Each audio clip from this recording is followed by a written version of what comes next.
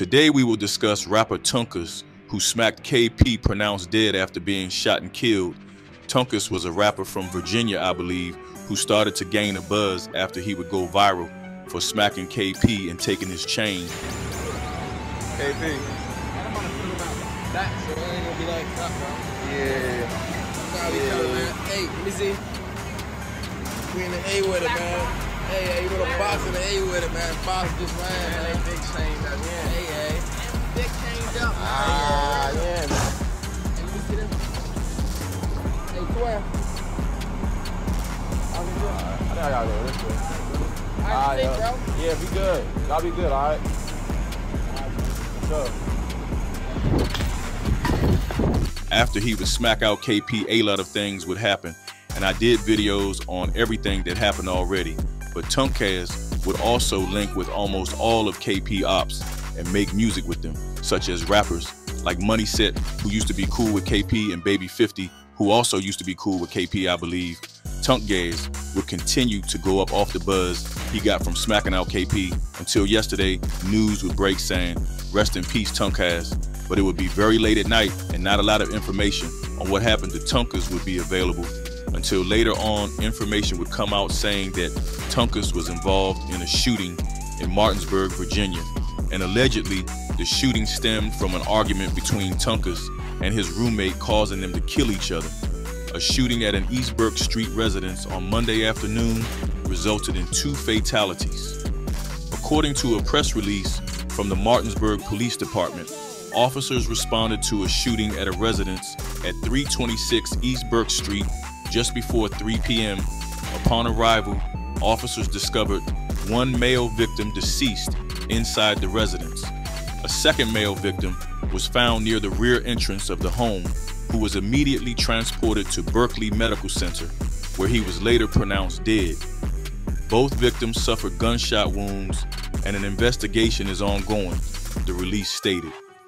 At press time, the area was still considered an active crime scene, and a detour had been put in place along the 300 block of East Burke Street.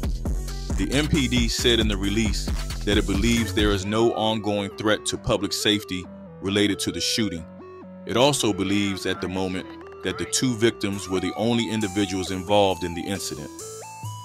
We will not release the names of the individuals involved until we are confident that their families have been notified, the release said.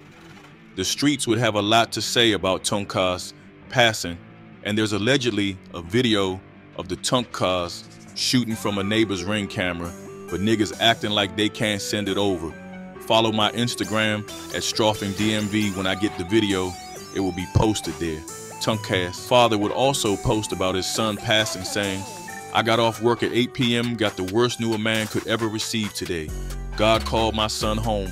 I never questioned you, Father. I'm so lost. I still can believe it's happening. I need everyone at this time to please pray for my family.